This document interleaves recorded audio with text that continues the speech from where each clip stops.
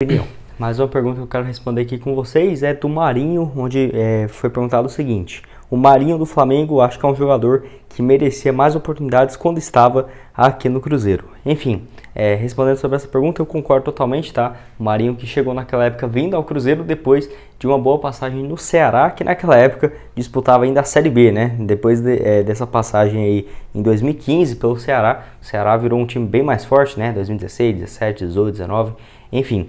É, naquele ano, pelo Ceará, o Marinho tinha disputado 29 jogos com 9 gols marcados. Chegou no Cruzeiro na reta final de 2015, 12 partidas, um gol marcado. Lembrando que o gol dele foi contra o Atlético Paranaense justamente na sua estreia, então era uma expectativa bem grande, né? Naquela época ainda era o Mano Menezes, treinador do Cruzeiro, que não soube aproveitar o Marinho, ao menos na minha opinião.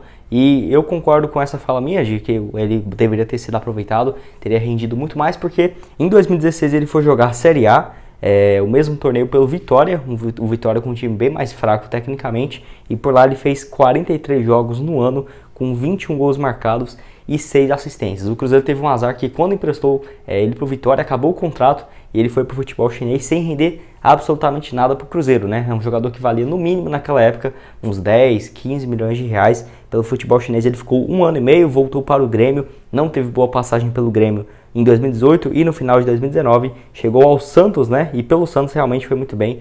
Teve principalmente o destaque em 2020 com 43 partidas, 24 gols marcados pelo Santos, fez o Santos chegar na final da Libertadores daquela temporada e ano passado 42 jogos, caiu bastante, né? Apenas 9 gols e 4 assistências. Ele se transferiu para o Flamengo, o Flamengo que estava de olho porque o contrato do Marinho ia até o final da temporada e, se eu não me engano, pagou algo próximo de 7 milhões de reais e tudo mais.